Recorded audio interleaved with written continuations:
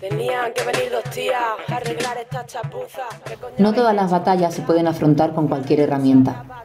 Y no todos los duelos están hechos para ser afrontados por cualquier combatiente. Así eran sus trincheras, brillantes, con firmeza, dureza y elegancia en una sola espada.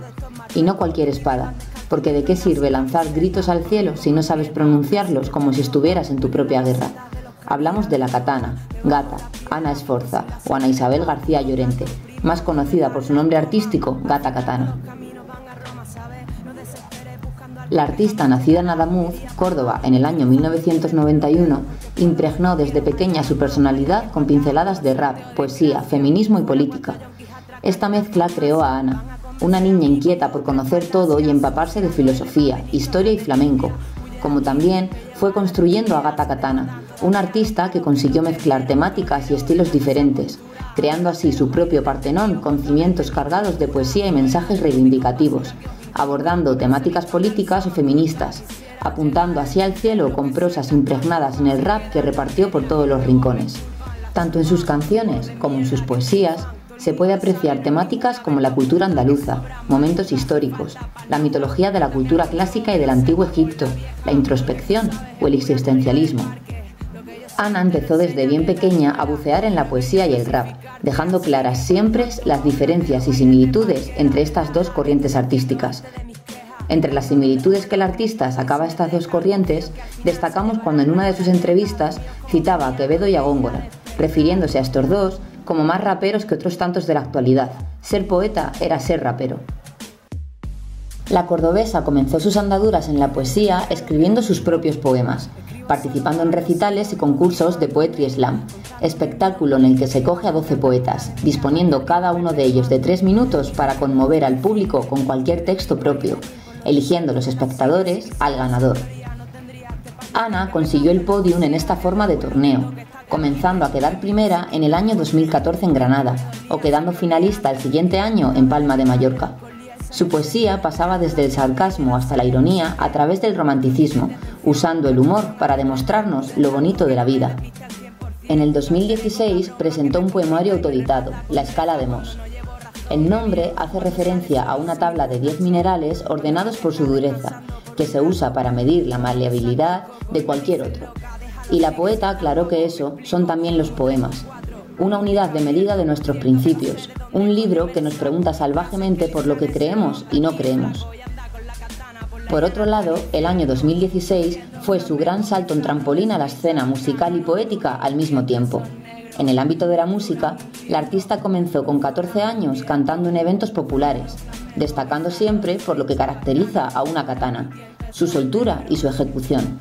Ana pasó muchos años estudiando de arriba abajo el flamenco, género que también fue muy importante para ella, llegando a interpretar muchos de sus palos y formando con 16 años Aquí pongo la era, un grupo de flamenco con cuatro amigos. Del mismo modo, su alias Katana era el nombre del grupo que creó en su época granaína con una de sus mejores amigas, Anabel, haciendo de esta manera homenaje a sus comienzos.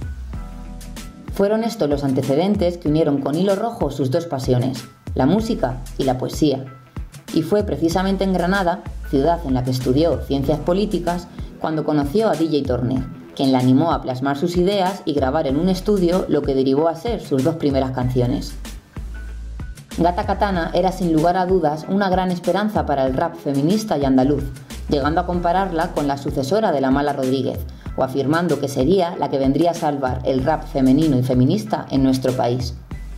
Entre todos los recuerdos que dejó, como el álbum Los Siete contra Tebas en 2012, Anclas en 2015 o Inéditos en 2016, seleccionamos Banzai, un disco producido por David Unison y que finalmente fue publicado el 19 de octubre de 2017, dejando en él himnos que el tiempo no conseguirá eliminar de nuestras cabezas. La joven alcanzó también más oyentes tras la colaboración en el tema de la Tierra, canción de Juancho Marqués y El Hombre Viento, pronunciando en este tema unas palabras que se han quedado rebotando entre todas las paredes. Vine de la tierra y a la tierra voy.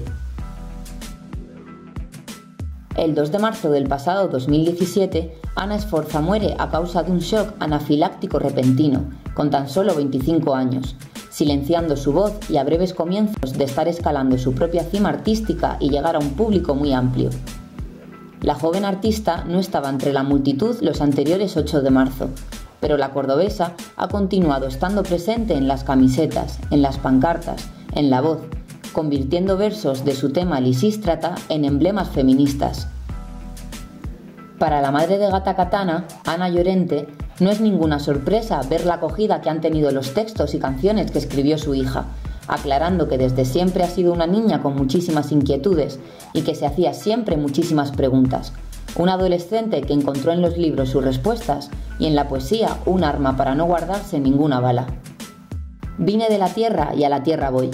Nueve palabras del artista que se han convertido en un lema para todos sus oyentes, demostrando de esta manera que Gata Katana vino a este mundo para repartir todos sus lemas con nosotros, lemas que seguirán resonando en los rincones de cada ciudad, dándole de esta manera una cálida brisa a un mundo lleno de injusticias, en el que nuestra artista luchaba todas sus batallas agarrada a su katana particular, el bolígrafo, dejándose la voz en cada salto para crear himnos que nos siguen acompañando a día de hoy.